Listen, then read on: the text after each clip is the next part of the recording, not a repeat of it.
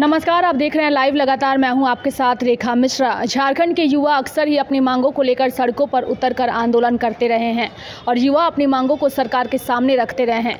एक बार फिर से झारखंड के युवा शिक्षा को लेकर आंदोलन करने जा रहे हैं। हमारे साथ इस कार्यक्रम में सफ़ी इमाम जुड़ चुके हैं, जिन्हें आपने कई बार सड़कों पर उतर आंदोलन करते हुए देखा होगा। चाहे वो उन्नीस सौ बत्तीस खतियान को लेकर के सड़कों पर उतरे हों या फिर जेपीएससी के मुद्दे को लेकर उतरे हों। सफ़ी, सबसे पहले तो स्वागत है आपका हमारे इस कार्यक्रम में।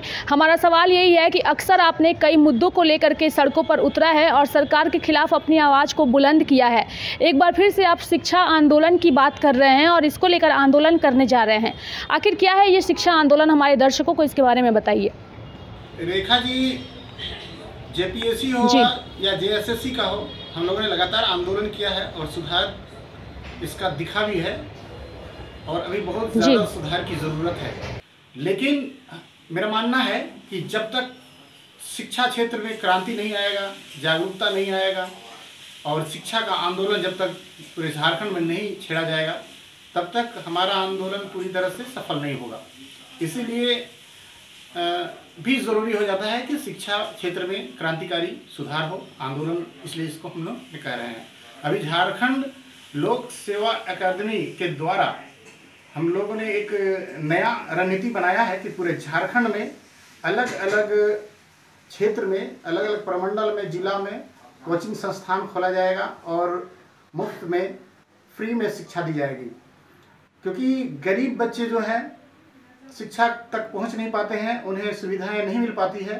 काफ़ी कोचिंग संस्थान दिल्ली में, रांची में चल रहा है, जेपीएससी, जेएसएससी की तैयारी कर रहे हैं। वही बच्चे जिसके पास पैसे हैं और संसाधन है और जिसके पास नहीं है, वहाँ तक ये जो है शिक्षा नहीं पहुँच पा रहा है। इसलिए जो है सर्वभौम रूप से सभी तक जो है गुणवत्तापूर्ण शिक्षा पहुँचने के लिए हम लोगों ने ये छोटा सा आंदोलन ये कह सकते हैं इसको।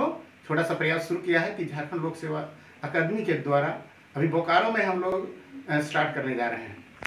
सफ़ी आपने यहाँ पे फ्री शिक्षा आंदोलन की बात कही। हमारा सवाल यही है कि अगर आप फ्री शिक्षा आंदोलन देने जा रहे हैं तो ऐसे में आप ये फ्री शिक्षा का आंदोलन अकेले तो देंगे नहीं। इसकी पढ़ाई जो है वो कई लोगों के साथ मिलकर के आप देंगे। तो ऐसे में उन तमाम लोगों को आर्थिक तरीके से आप कैसे मदद करेंगे और आप लोगों को इससे क्या फ़ायदा होगा? आपने बहुत अच्छा सवाल किया है कि फ़ायदा क्या होगा। तो हमारा जी।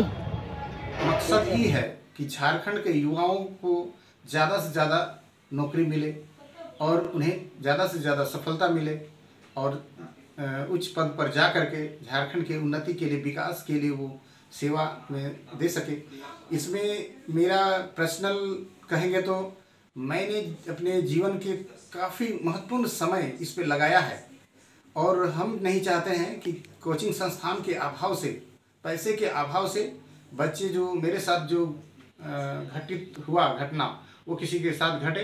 और लोग ज़्यादा से ज़्यादा सफलता प्राप्त करें इसके लिए हम लोग प्रयास कर रहे हैं। और हमारा एक टीम है जो निःशुल्क सेवा सेवा देने के लिए भी तैयार है शिक्षा देने के लिए भी तैयार है। शिक्षा आंदोलन और इसके साथ ही शिक्षा की अगर हम बात करें तो किन किन जगहों पर आप लोग इसकी शुरुआत करने जा रहे हैं? निःशुल्क जो तैयारी करवाने की जहाँ तक बात है तो रेखा जी मैं बताना चाहता हूँ कि ये अभी हम लोग शुरुआत कर रहे हैं बोकारो से। जिस तरह से बोकारो से लेकर पूरे झारखंड में भाषा आंदोलन हो या खतियान आंदोलन पूरा फैला था। इसी तरह से बोकारो से ही अभी हम लोग, सेक्टर टू से एक अगस्त से, समझिए एक अगस्त क्रांति शिक्षा के क्षेत्र में करने जा रहे हैं। और ये जो है, इसके बाद रांची में, दुमका में, धनबाद में, गिरडीह हजारीबाग, हर जगह में इसका ब्रांच खोला जाएगा और इसको फैलाने का काम किया जाएगा जहाँ तक ये। और ये जो है ऑनलाइन भी होगा और ऑफलाइन भी होगा। चलिए तो आपने हमारे साथ सफ़ी इमाम को सुना, जिन्होंने शिक्षा आंदोलन को लेकर अपनी बात कही। उन्होंने कहा है कि किसी भी काम की शुरुआत जो है, वो शिक्षा के बिना नहीं हो सकती। अगर इंसान को आगे बढ़ना है तो शिक्षा जो है, उसमें महत्वपूर्ण भूमिका निभाती है। शिक्षा के माध्यम से लोग जो है, वो अपने मुकाम को हासिल कर सकते हैं। ऐसे में देखने वाली बात होगी कि आने वाले समय में सफ़ी इमाम की ओर से शुरू किया गया ये आंदोलन कितना रंग लाता है। तब तक के लिए आप देखते रहिए लाइव लगातार। नमस्कार।